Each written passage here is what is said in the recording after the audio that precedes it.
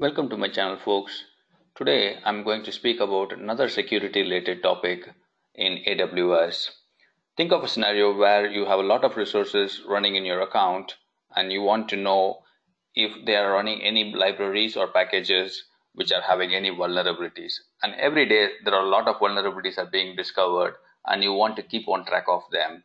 For example, let us say there is a package that is having a lot of memory leak happening in your server or there is a server side request forgery happening from one of the compromised instances, or there might be a remote procedural call vulnerability from one of your servers.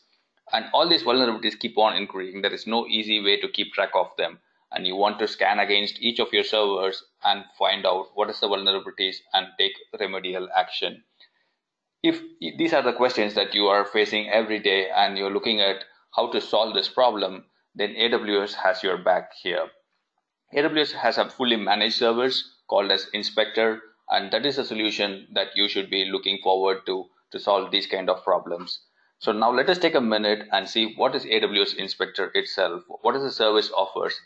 As I said, AWS Inspector is a fully managed service, and using this service, you can scan your servers for common vulnerabilities against the CVE database or against a common security baseline that you might have in your account or other best practices for security that is followed by other standards. For example, CIS is another standard. So you choose all these rules packages and apply it against your instances. So when you say against your resources, you can group them by tags. For example, in your environment, you will have operating system as Linux, and you can group them all as one group of instances that you want to scan against a particular vulnerability. Or you might also want to group them based on your environment also. For example, here there is an example of grouping all the instances based on production and then the other group of instances or resources based on test.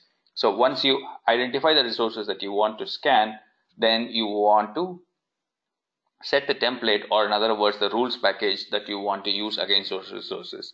So here is the common four rules packages that is available in addition to that, you can make your combination of these or you can also have your custom packages also built into AWS Inspector. So once you the rules and then the resources are identified, then you will set up a schedule whether you want to do it every day or on a particular date or every eight hours. And once you make the uh, scans, AWS Inspector will take those reports, it will run its analysis, and it will provide its findings in a nice little dashboard so that it is easy for you to take an action or you can show it to your auditor saying these are the vulnerabilities and these are the exceptions that we have made or these are the remedial actions that we are going to take. So this way you can ensure the security of your account and maintain it in good status. If you have any questions, let me know. I can help you with it. In the next video, we will see how to set it up in the console itself. Thanks for watching. Have a nice day.